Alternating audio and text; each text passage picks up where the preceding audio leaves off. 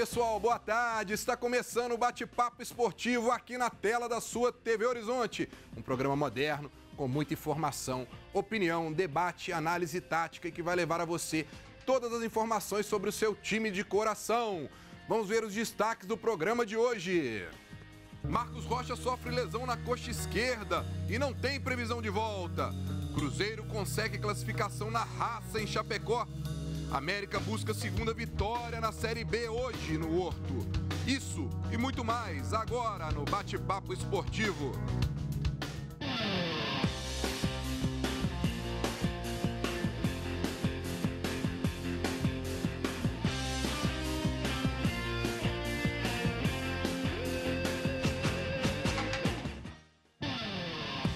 Seja bem-vindo ao nosso bate-papo esportivo e você pode entrar nessa conversa com a gente. É só mandar sua mensagem no nosso WhatsApp. Anote aí, 984950038. 984950038. Responde aí pra gente, torcedor cruzeirense. Quem você prefere enfrentar agora na Copa do Brasil? E você, torcedor atleticano, que time você prefere enfrentar? Mande aí um WhatsApp pra gente, a gente quer a sua opinião. Bem, agora vou escalar o nosso time hoje aqui no programa. Nosso time hoje está um time mais defensivo, mais reforçado na marcação. Vou começar pela lateral direita, ele com muita experiência e reverência.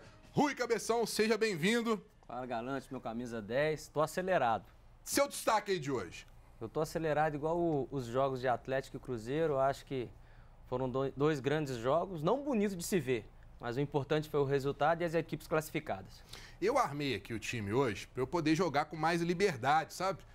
Para mim poder sair tocando a bola, dominando. Na lateral esquerda, não posso deixar ele, claro, com a sua experiência. Ele é o capitão, ele manda, mas por favor, sem passar do meio de campo, tá bom? Paulo Aqui, Roberto Prestes. E primeiro ele é zagueiro, tá? É. Não é meio camisa 10, não, pelo amor de Deus. Breno, camisa moral, 10, né? não. Dá uma moral, né? Seu destaque aí, Paulo. Destaque óbvio que é o Atlético Cruzeiro na, na, nas, oitavas, nas oitavas, né? De, quartas de finais? Quartas né? de final. Quartas de final da Copa do Brasil.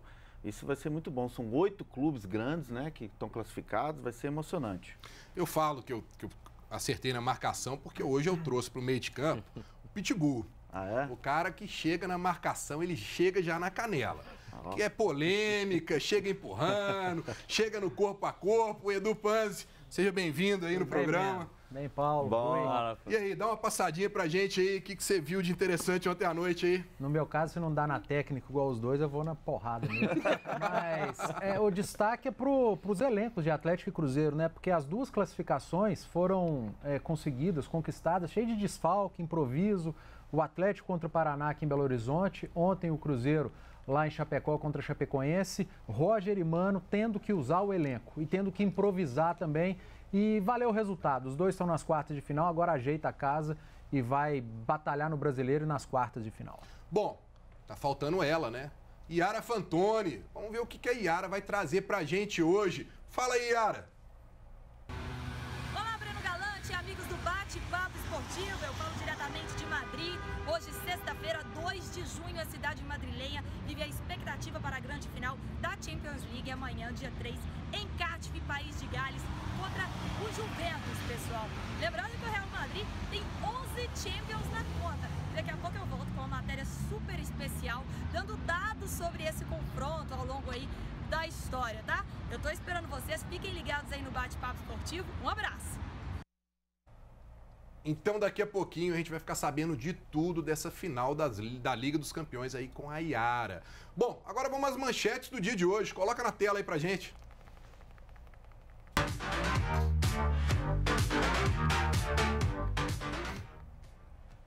Sonho antigo dos brasileiros, Diego Tardelli volta a entrar na mira do Palmeiras. E aí, Paulo?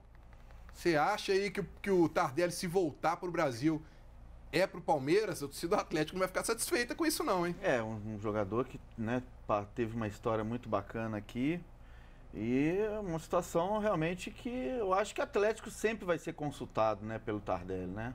Antes dele tomar qualquer decisão, eu acho, eu ele acho, procura o Atlético. Eu acho, eu acho que tem, tem uma, sempre a possibilidade de, do retorno dele. Bom, vamos ver o que, que mais tem aí pra gente hoje. Roger vê Guerreiro como supervalorizado, acha que o Fred é muito mais jogador. Roger é centroavante do Botafogo. E aí, Edu, concorda com ele? Fred é melhor do que o Guerreiro? É, seria complicado ele falar o contrário. Ele está jogando no Rio, ele vai encher a bola do jogador rival, do Guerreiro. Isso aí é política. Se ele tivesse aqui no Cruzeiro, por exemplo, ele falaria que o Guerreiro era muito melhor que o Fred, porque o Fred está no Cruzeiro. Então, foi esperto o Roger, foi inteligente. a outra aí pra gente. Anda.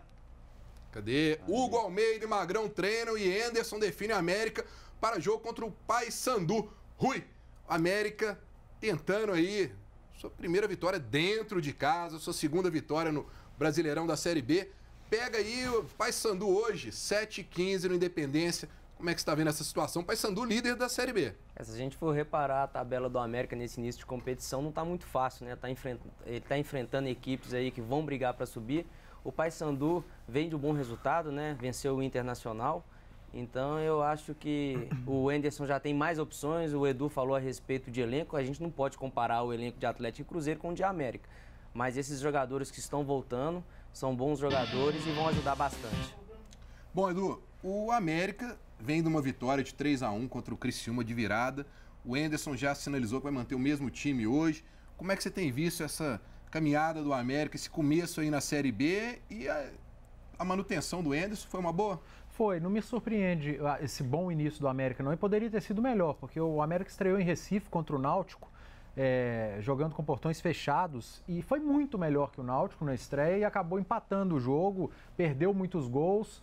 É, depois vence, vence o Criciúma jogando em Criciúma, que a gente sabe a dificuldade que é. Paulo Roberto sabe muito bem. O, o Criciúma foi uma pedra no sapato do Atlético, principalmente na época que o Paulo Roberto era o lateral esquerdo, década de 90, Copa, Copa do, do Brasil, Brasil, Copa do Brasil. Era Goiás e Criciúma, é, sempre incomodando. Isso foi ontem. Né? Cruzeiro né? também. É, o Cruzeiro também sempre teve dificuldade quando joga lá no Heriberto Rios e o América foi lá e venceu.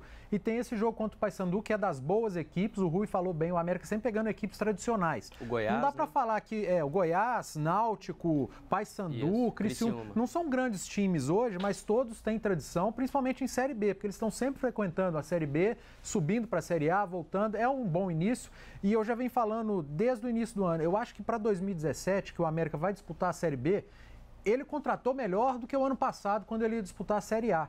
Então eu vejo sim, com otimismo, a participação do América nessa Série B. Não pode, no meio do ano, perder jogador para a Série A e, caso consiga o acesso, lá no final do ano, desmanchar todo o elenco para jogar de novo a primeira divisão. O problema do América é esse: não é o time que ele monta, é o time que ele desmancha ao final do ano. E hoje, vem o time do Paysandu que vem venceu o Internacional, que até teve a queda lá do Antônio Carlos Zago, Zago.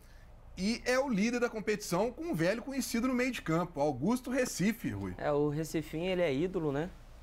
Ele é da terrinha.